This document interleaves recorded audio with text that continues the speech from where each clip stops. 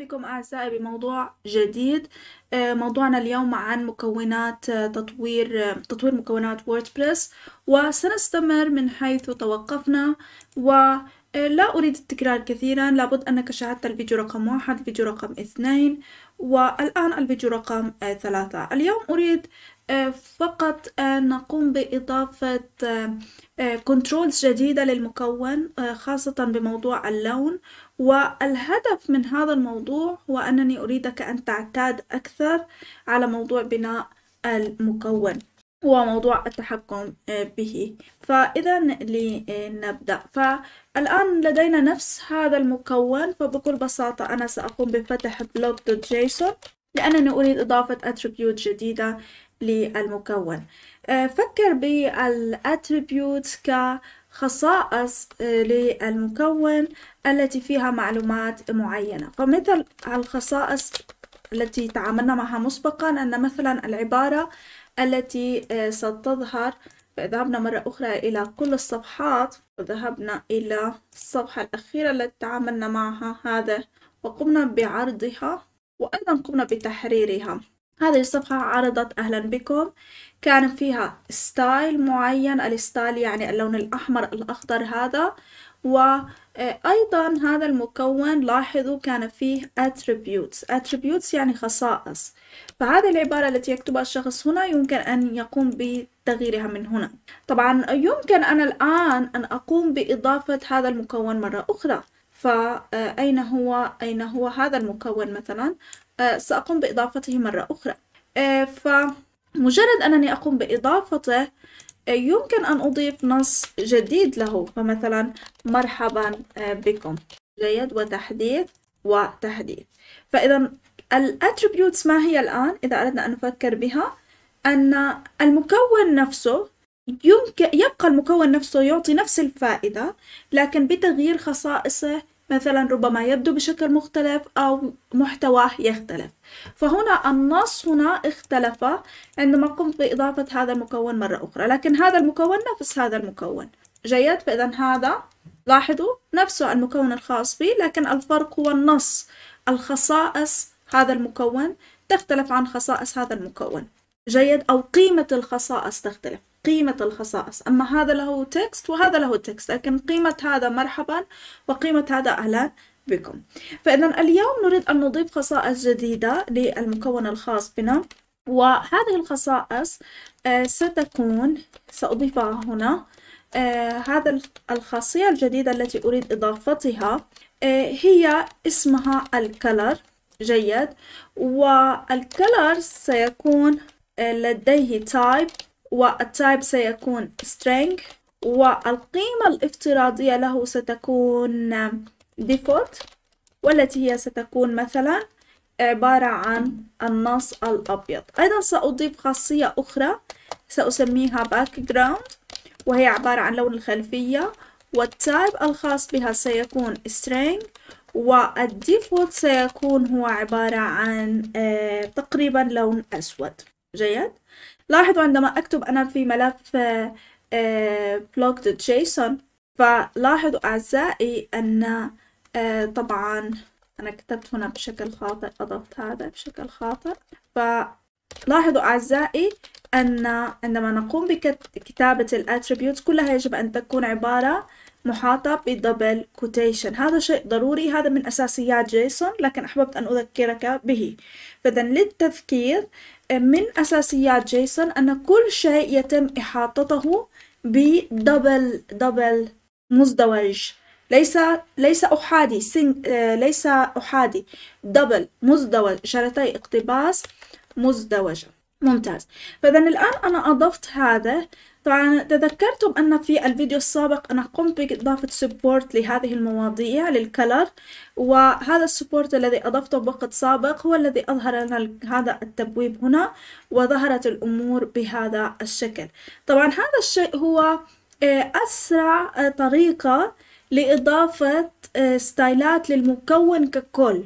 يعني هذا المكون ككل أنا أريد ما هي خلفيته ما هو لون النص ما هو لون الرابط فأسهل طريقة هي من خلال إضافة supports color وكما قمت أنا بالفيديو السابق آه، لكن أحيانا نريد أن نضيف style معين لجزئية معينة في المكون فماذا يعني ذلك؟ يعني مثلا ذهبت لملف edit.js في ملفات ال source فإذا لاحظوا لدينا هنا div وهذه ال div فيها نص معين. فمثلا ال div ككل هذا المكون ككل أنا أضفت له support لون خلفية ولون نص. ماذا مثلا؟ لو أضفت هنا مثلا تعالوا نضيف مثلا آه، H1 مثلا هنا بهذا الشكل. وهذا ال H1 مثلا يكون فيه ال heading مثلا heading معين. مثلا نكتب heading دعونا نكتب فقط heading الآن.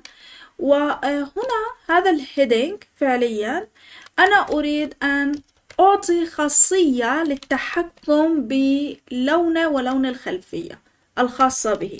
إذا دعوني أيضا أضيف ال heading بملف ال save ف... فمثلا هنا بال return هذا. طبعا سأفتح هكذا. وهنا نضيف ال H1 وهذا اسمه heading. ولاحظوا يعطيني خطأ لأن يجب أن أحيطها كلها ب div وبالتالي هنا سأحيطها ب div لأن ب react وهذه هي عبارة عن react.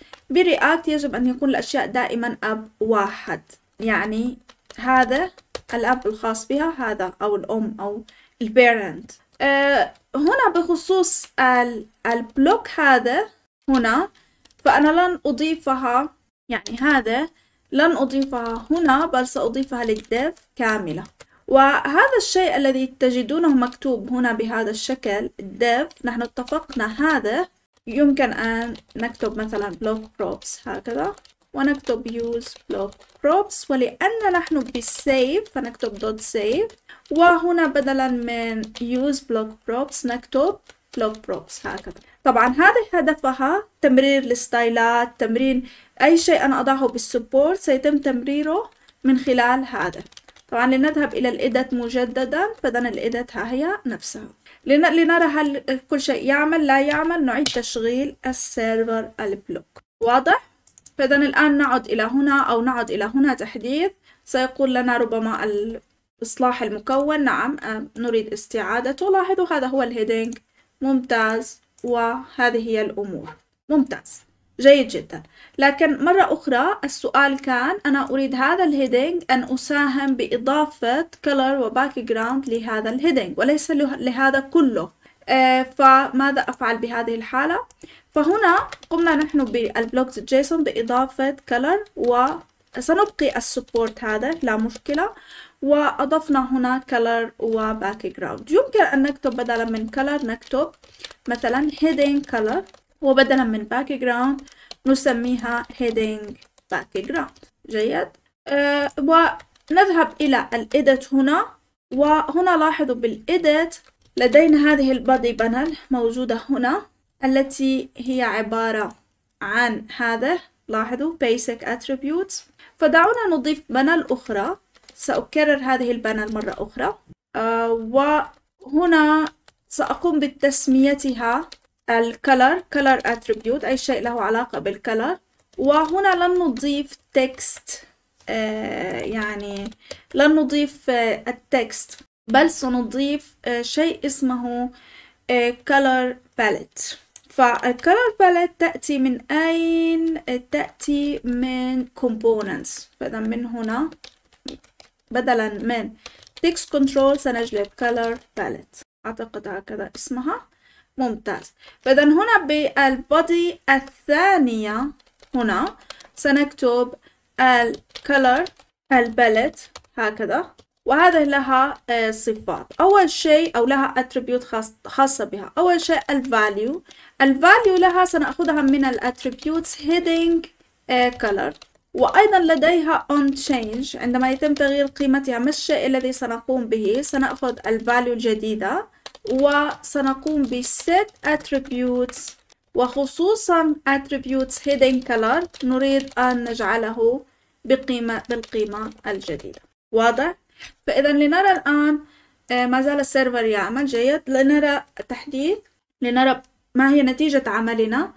فإذا قمت بالنقر هنا هذا هو المكون. لاحظوا هذا هو ال color attributes هذه ال panel وهذا هو يعني هذه هي ال panel الموجودة وهذا اللون. فإذا ال color palette أضافت لنا هذا والآن يوجد يمكن أن نغير اللون. عفوا هوني أعد للمكون. جيد. إذا قمت بالتحديث آه، وتحديث مجددا لاحظوا أن ال color ما زال محفوظ لكن لا يؤثر هنا. إذا أردت أن يؤثر هذا على هذا فبكل بساطة علي أن أذهب إلى ال heading الذي أنتجته هنا. فإذا هذا ال heading سأضيف له style وبهذا ال style طبعا أنا أتعامل معه كمثل style React الذي يعرف React يعني أنا أفترض أنك تعرف React آه إذا إذا نسيت سأذكرك أن ب style ال React نحن نعتبر آه ال style أنه عبارة عن object. طبعا بداية ب React إذا أردت أن أقوم بإنشاء آه إذا أردت ب React أن أقوم بإضافة أي variable فأضعه بين curly bracket. وإذا أردت أن أكتب object فأضيف آه آه يعني curly bracket مرة أخرى أو braces. وهذه لأن ال style أنا أتعامل معه ك object في داخل react. فأنا أريد تغيير ال color لهذا ال heading وأريده أن تكون قيمته هي نفس قيمة ال attributes heading color. وهذا التغيير نفسه سأنقله على ال save وأضعه أيضا بال save. إذا أيضا ال save سأقوم بنفس العملية وبال edit نفس العملية. فإذا ما زال يعمل الآن لنرى النتيجة.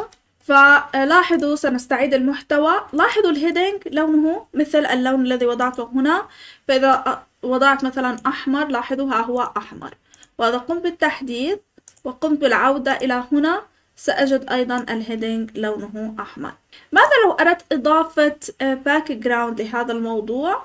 لل heading أو لجزئية معينة بداخل ال بجزئية معينة بداخل ال ال component أو المكون الذي لدي. فبكل بساطة مرة أخرى لاحظوا أنا ب هنا لدينا heading background فيمكن أن أستعين بها. فأذهب إلى ال... هنا لدينا البلت. لاحظوا هذه البلت يعني غير واضح أن يعني اسمها color attributes للبنا لكن هذا ليس واضح لماذا. فعلي أن أضيف label لهذا فقبله سأضيف label وأكتب به ماذا نكتب به؟ نكتب به أن هذا هو ال heading color. سأكرر هذا مرتين وهنا سأكتب heading background ونفس الشيء لدينا palette لكن هنا بدلا من heading color سيكون لدينا heading background. وهنا بدلا من heading color heading background فإذا لنرى النتيجة والآن تحديث بهذا الشكل.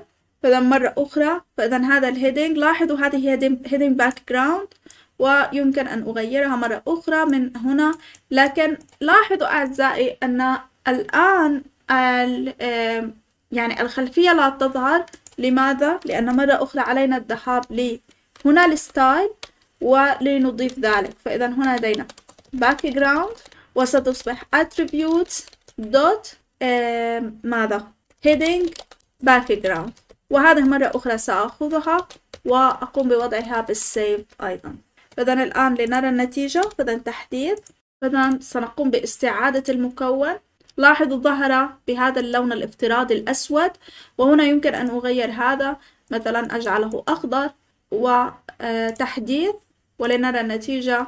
فإذا هذه هي النتيجة. فإذا نحن الآن نستطيع أن نقوم أيضا بالتحكم بالكلر وال background بهذه الطريقة من استخدام component اسمها color palette يوجد طريقة أخرى للقيام بذلك باستخدام شيء اسمه color picker وأنا نسيت فعليا من أين سنجلبه فإذا دعوني أذهب ل wordpress.org وأنا أريدكم أن تعتادوا على هذا الموضوع. آه، لأن هذه الدروس غير كافية لفقط التعلم. من color picker وعلى الأغلب الذي سيشاهد الفيديو هم أعضاء من قناتي. وبالتالي أنتم تقدرون الطريقة التي أشرح بها و آه، تقدرون هذا هذا السلوك. أن دائما أن نبحث دائما أن نرى ال documentation آه هذا الشيء يعني يجب أن نقوم به. فإذا هذا هو ال color picker تبحث عنه وترى ما الأشياء الموجودة فيه. طبعا لماذا يظهر بهذا الشكل؟ آه هل هو خطأ؟ دعوني أنا ربما سأحدث نفس الشيء. لا أعرف الخطأ من ماذا أو لماذا. هنالك يعني نرى بهذا الشكل هكذا أفضل. فإذا هذا هو ال color picker ويمكن أن نجلبه أيضا من component فبالتالي في الأعلى هنا سنذهب إلى ال edit ومن ال edit سنذهب إلى هنا. وسنقوم بجلب ال color picker واضح؟ طيب كيف هو استخدامه؟ استخدامه بكل بساطة ها هو جلب. يمكن أن تضيف colors معينة ويمكن أن تقوم بإضافة value لهذا. دعونا نجربه. نجرب هذا.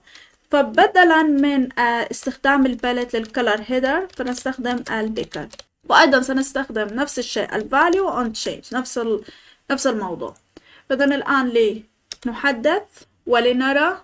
فإذا لاحظوا ال color picker لاحظوا ال background هي ال palette وهذا ال picker فإذا لاحظوا الفرق. الفرق هو أن ال picker يظهر بهذا الشكل. كأنك تلتقط اللون بهذا الشكل. أما ال palette فتظهر هنا ب يعني عندما تقوم بالنقر عليها أيضا سيظهر لك نفس القصة.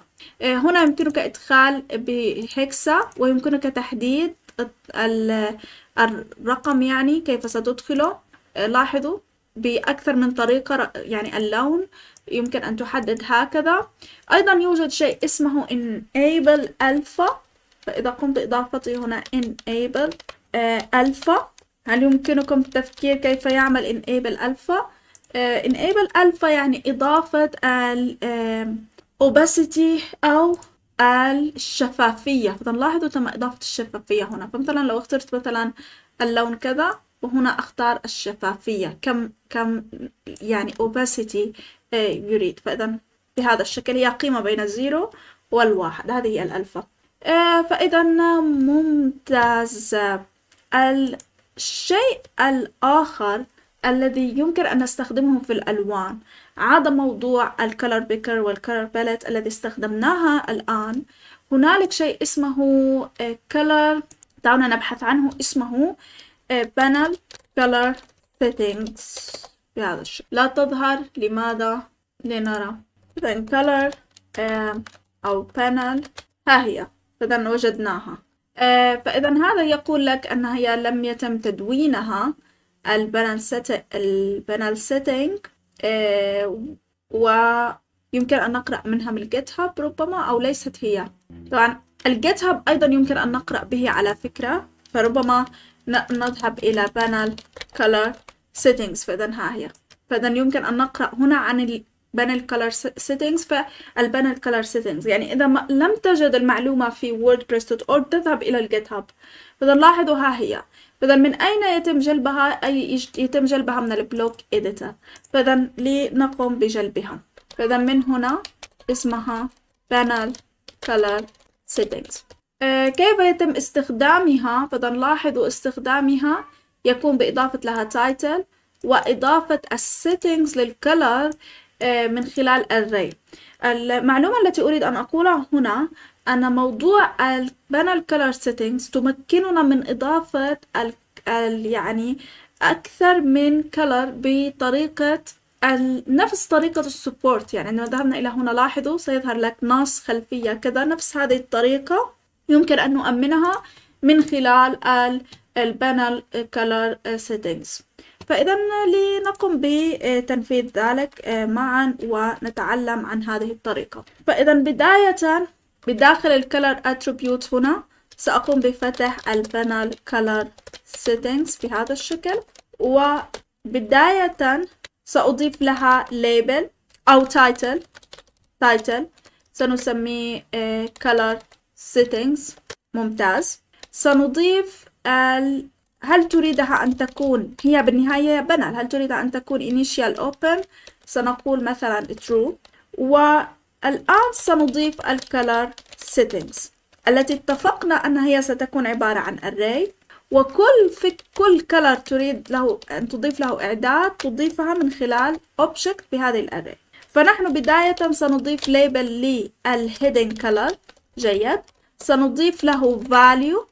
التي هي attributes.color وسنضيف change on change event. يعني نفس الأشياء التي كتبناها بال color هنا نفسها. إذا هذا سأجلبها وأضعها هنا.